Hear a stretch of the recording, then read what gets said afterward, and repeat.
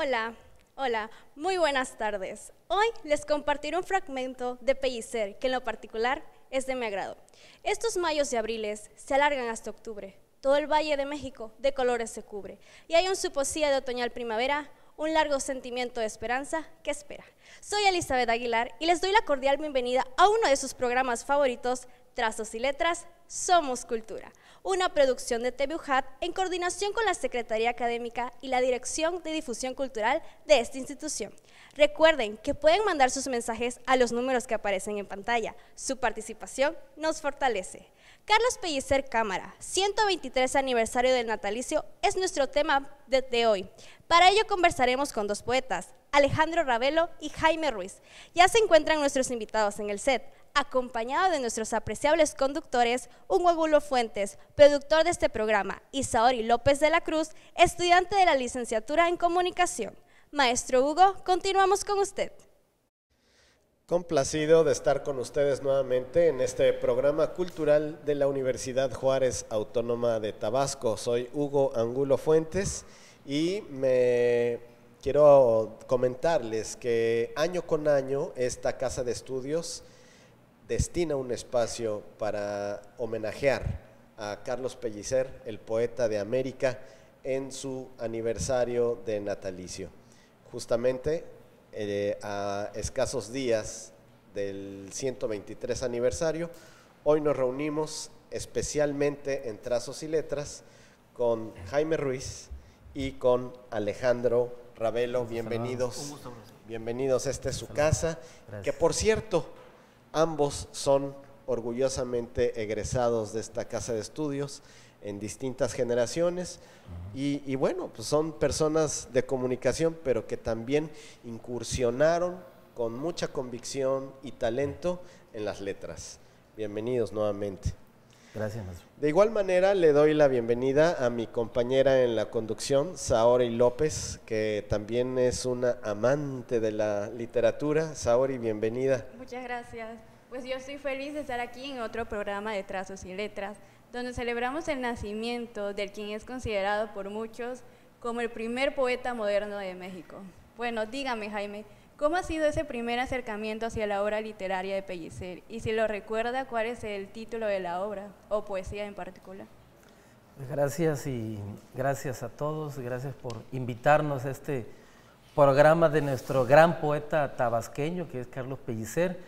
Eh, pues realmente el primer acercamiento fue en la preparatoria, eh, llegábamos a un taller literario con el maestro Roberto Velázquez Pacheco y nos dio varias lecturas, entre ellas Carlos Pellicer, y, más o menos en ese tiempo eh, el, gobierno federal publicó un libro eh, en el marco del, Día Nacional del Libro sobre Pellicer precisamente, donde tuvimos la oportunidad de leer una antología, pero no fue sino hasta cuando yo entré, un año después, del 1998, a la Universidad Juárez Autónoma de Tabasco, en el 97, sí, efectivamente, que en los cursos propedéuticos, el último día de los cursos propedéuticos nos dio una charla nuestro amigo, el maestro escritor Miguel Ángel Ruiz McDonnell, sobre Carlos Pellicer, donde pues uno queda un poquito más este, empapado de su obra, más encantado de su producción, y de ahí en adelante pues surgió una amistad tanto con el maestro McDonnell y tanto con la obra de Carlos Pellicer, que bueno, siguió adelante y, y, también entrando a la carrera em, empezaron a ver algunos cursos sobre la obra pelliceriana, la, obra de poetas tabasqueños, eh, que, que, bueno, nos, nos, dio mucho gusto participar en ellos. Y, y, bueno, Pellicer es un poeta que te impacta, ¿no? Desde la primera vez, como que te deslumbra incluso, como cuando te acabas de levantar a los ojos de la poesía y, es un poema, un poeta gigante, ¿no? En ese aspecto, eh, poéticamente hablando. Alejandro Ravelo, pues a mí me parece que la pregunta que le formuló Saori a Jaime es fundamental y me parece que es importante que también la respondas tú. Ok, eh, muchas gracias. Gracias también a la UJAT, mi casa, eh, por la invitación. Bueno, en mi caso, como cualquier chico aquí en Tabasco, de vez en cuando en el homenaje te asignan un un poema, declamar. y normalmente es de Pellicer y normalmente es agua de Tabasco vengo, ¿no? Entonces, podríamos decir que ese es un primer acercamiento, pues no solo porque en ocasiones sí, sí fue, era reiterativa la invitación, sino además porque, como bien dice Jaime, tuvo que esperar hasta la prepa como para interiorizar. Y en mi caso, no, eh, estudio poesía por mi cuenta, la poesía que me gusta es más bien la de Gorostiza, por mencionar un tabasqueño, en Muerte sin fin, leía más a Sabines, leía más a Paz. Entonces, ya al momento que por mis propias lecturas vengo teniendo mi desenvolvimiento o mi propio descubrimiento, pues para empezar descubro que la obra de Pellicer no se limita nada más a la que de alguna manera te ponen en la escuela o al paisajismo, ¿no? Este, descubro que también tiene poesía política, descubro que también tiene poesía erótica, descubro que también tiene poesía contemplativa o poesía mística, eh, que obviamente es importante mencionarlo, porque además él nunca niega eh, su catolicismo, digo, no es para hacer propaganda ni nada, pero finalmente muchos grandes autores a lo largo de la historia han asumido eh, su profesión de fe como un componente importante de su expresión literaria. Pues igual se me hace muy interesante el hecho de que él nunca negó de dónde venía. Eh, ¿A qué creen que se deba esto? No sé, bueno, para continuar un poco, creo que se debe principalmente a que Em, para quienes hemos viajado a otras latitudes, y en el caso muy mexicano, muy tabasqueño, eh, lo nuestro es una, es una condición aparte por razones geográficas, ambientales, o sea, sí tenemos como otra idiosincrasia, otra forma de ver la naturaleza, el paisaje. No menté a Pellicer cuando decía que en la sangre navega lo más antiguo de México. O sea, todavía seguimos siendo muy apegados a la tierra, a nuestra gastronomía y demás.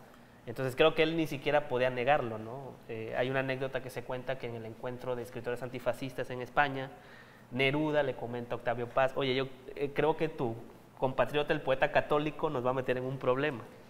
o sea, era una identidad tan fuerte y la personalidad de Pizzi era a su vez tan avasalladora que era imposible no negar sus orígenes.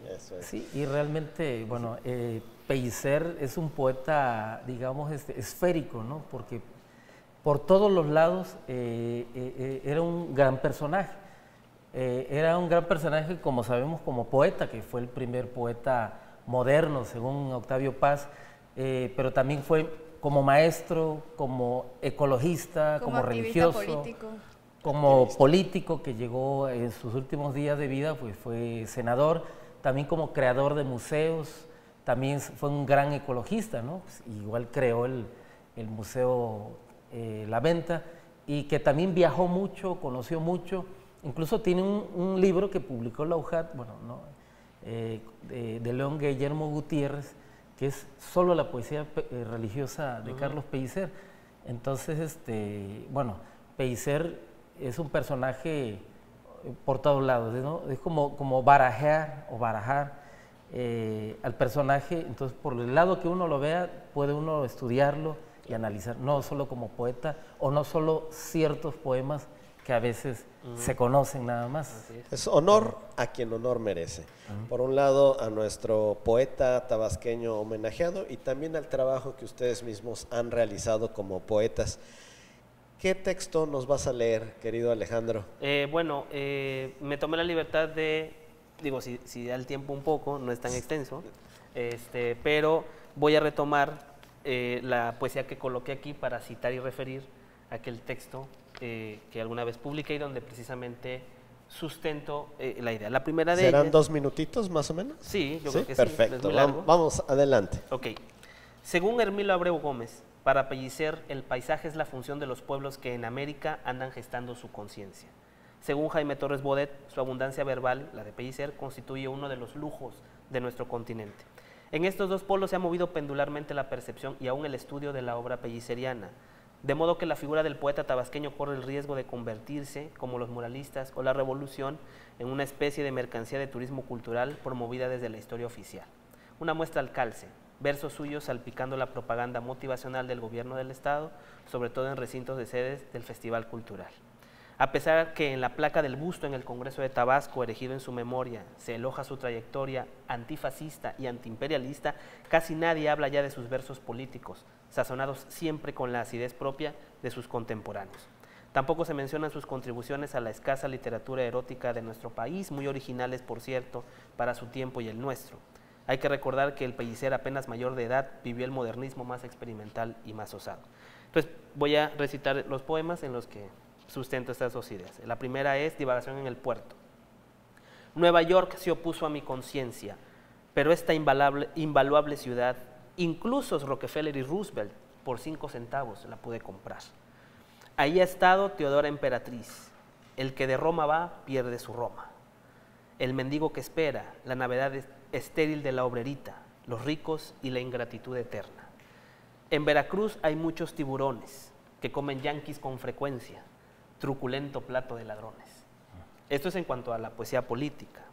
En cuanto a la, de, a, a la erótica, por supuesto al fragmento 16 de recinto precisamente. Y si al pasar frente a la casa abierta alguien dentro grita, Carlos, ¿habrá en tu corazón el buen latido? ¿Cómo será el acento de tu paso? Tu carta trae el perfume predilecto. Yo la beso y la aspiro. En el rápido drama de un suspiro, la alcoba se encamina hacia otro aspecto. Esto es de recinto, el fragmento 16. ¿No? Pues, increíble. Eh, particularmente, ¿cuál de las esferas poéticas de Pellicer es la que más te apasiona? Eh, particularmente la, la, poesía política. Eso es. O sea, es un poeta agitado. Eso es. Sí, sí. ¿Y de qué manera la obra de Pellicer ha marcado su vida? Quizá no solo como de escritor, sino también como de persona. Adelante, Jaime. Ok. Eh, más que nada, este, en el caso, la, la, forma de crear, ¿no? Pellicer era nuestro Huidobro, eh, porque jugaré con las casas de Curazao, pondré el mar a la izquierda y haré más puentes movedizos, uh -huh. lo que diga el poeta. Y sustenta la teoría de que cada poeta es un dios que crea su propio mundo. Entonces uno como escritor tiene que eh, ver el mundo, pero crear su propio mundo. ¿no? Vamos a ir a un corte ¿Eh? promocional. Gracias. Continúas eh, al regresar con, con, esta idea. Esto es Trazos y Letras. Soy Hugo Angulo, acompañado por estos gigantes de la poesía tabasqueña. Y lo digo gigantes porque son jóvenes que a mí me complace mucho compartir este programa con ellos. Ahora y López, regresamos enseguida. Tras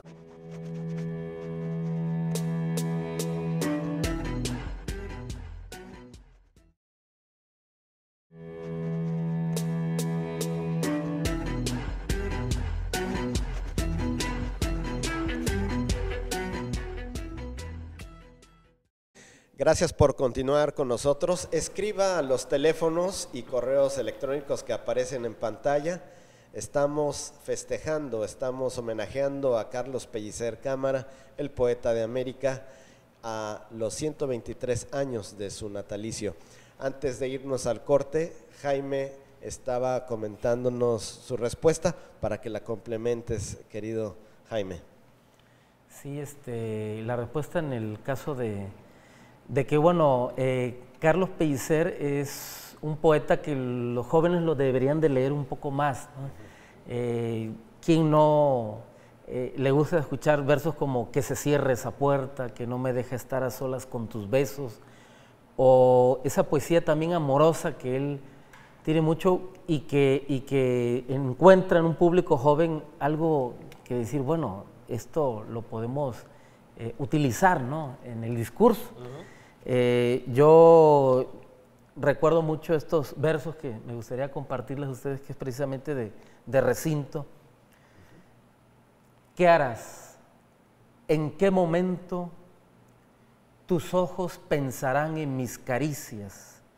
¿Y frente a cuáles cosas de repente dejarás en silencio una sonrisa? Y si en la calle hallas mi boca triste en otra gente, ¿la seguirás? ¿Qué harás? Si en los comercios, semejanzas, algo de mí encuentras, ¿qué harás? Y si al pasar frente a la casa abierta alguien dentro grita, Carlos, ¿habrá en tu corazón el buen latido? ¿Cómo será el acento de tu paso? Eso lo escribió cuando él era más joven, pero ya más o menos al final de su vida escribe estos versos totalmente sencillos pero fuertes. En este asunto del amor, fragmento.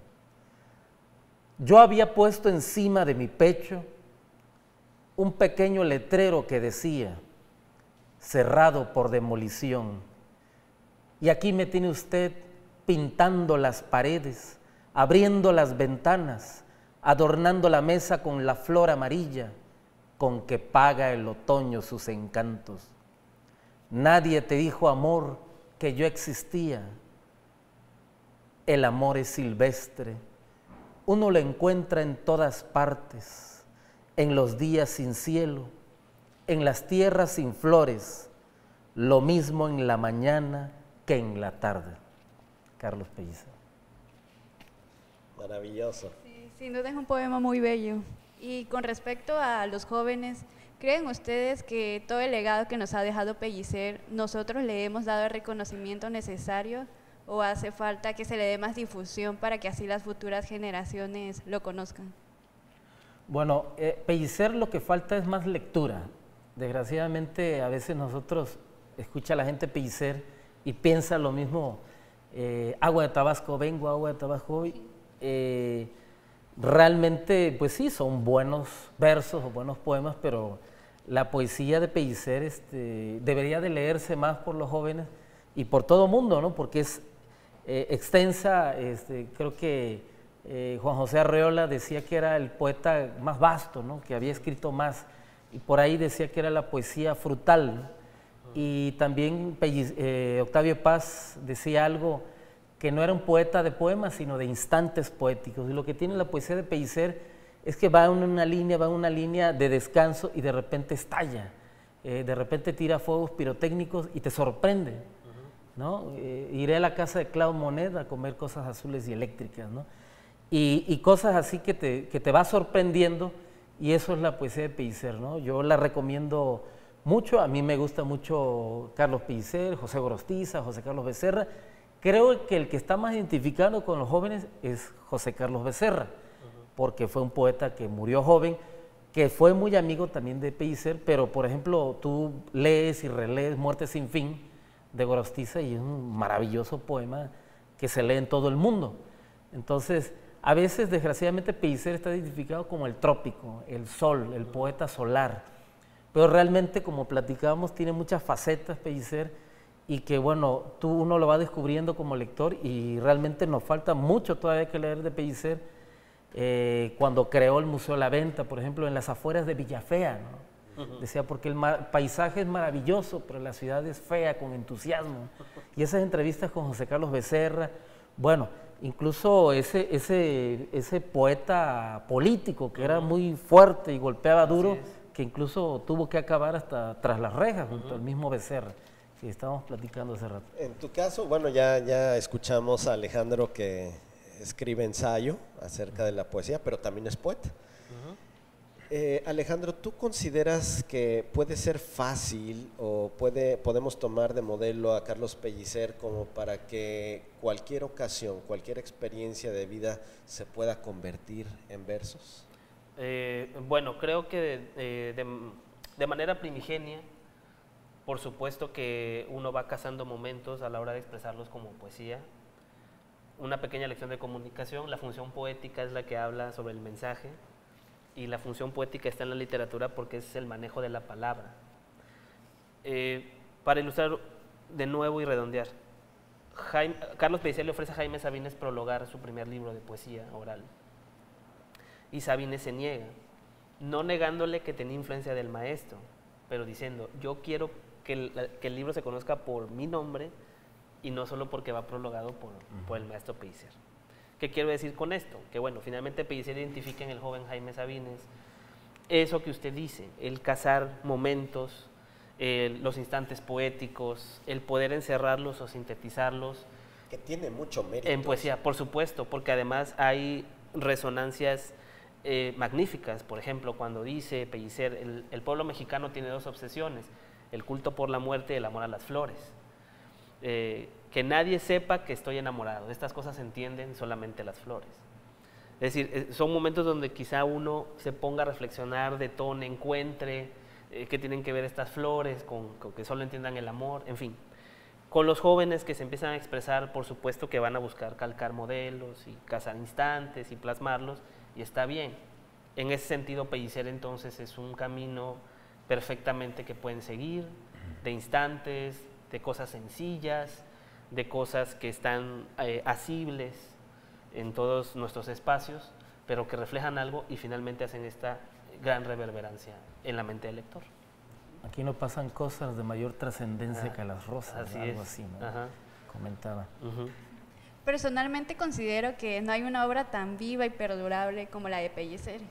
Eh, ¿Cuál consideran que es su obra literaria más icónica y representativa? ¿Cuál consideras? Bueno, para mí seis, siete poemas. Colores en el mar. ¿Por qué? Porque, bueno, ya conocemos a ese joven que anda caminando el camino de la poesía.